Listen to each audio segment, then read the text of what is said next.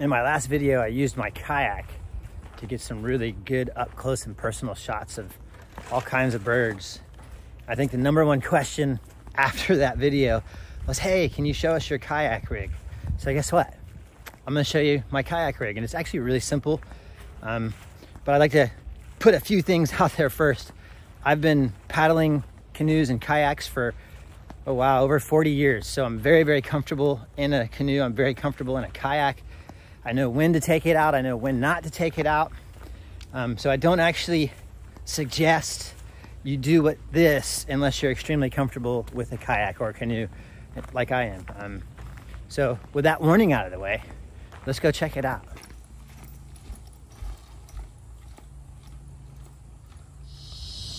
Here it is, bright red kayak. so obviously not very camouflaged, but I don't think that matters, but it's a Native Watercraft Ultimate 12. They still make this, and it's actually not really a kayak. It's more of a hybrid kayak slash canoe.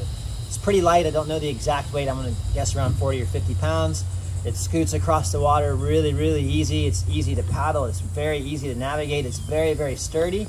It is a flat water kayak. I would not suggest using this in any type of rough, turbulent water. You can do it, but this is more designed for flat, definitely not the ocean or anywhere where there's waves.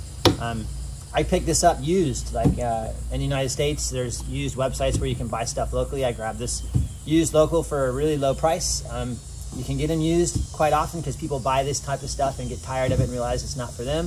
Um, so you can get some good deals that way, or you can buy it brand new. Um, let me show you the inside of it. So this is the seat that actually comes with this kayak. It's really light, it's really comfortable, and it's like fully adjustable. Pretty simple. Um, and putting it in and getting it in place is actually really easy too. I'll show you how to do that now. Just lays in flat like this, and then you turn it sideways once you get it in, and it goes under these clips in the back. There's one there, and there's one there, and it pops in place and then it folds back. And then you have these here to secure it in place, um, which honestly, I don't think I've ever used, but that'll keep it from going back too far and slipping back out of place.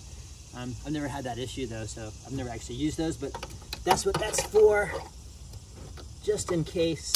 And you can adjust that too, so you get the perfect distance between uh, your feet and the seat. It's really comfortable too. I've paddled this thing for hours and never had any issues with my back or my back side. I'm super comfortable kayak. So let's go for a little paddle. All right, this is actually the trickiest part, getting in the kayak with your gear and taking off. And I don't actually use any kind of tripod when I go out and do this, which is very challenging um, for a couple of reasons. One, you know, it's you don't have a tripod, so there's nothing to keep you steady.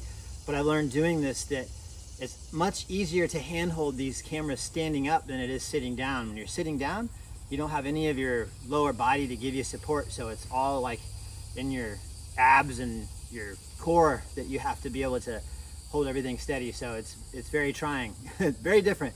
But I usually just slap this down inside here like this and then hop in. As dainty as possible. Put my feet on the pedals and then scoot like that.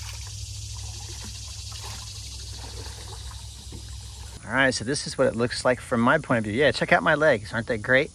And welcome to Florida during the rainy season. This water is really high.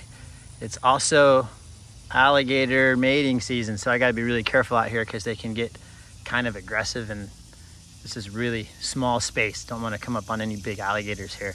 But you got these handy little pedals or foot places to put your feet which is really handy and they're fully adjustable depending on how you want it. So you can pull this up to give you some space or push it down to give you some space.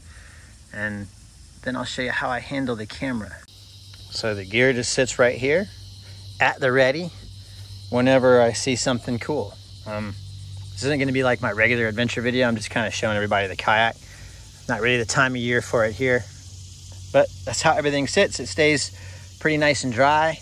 Um, never had any issues and it's a really great way to get really close to a lot of wildlife. They don't seem to mind when you're just sitting in your kayak. It's pretty cool. So that's it, it's pretty simple. Told you it's not all that fancy, really easy, really affordable.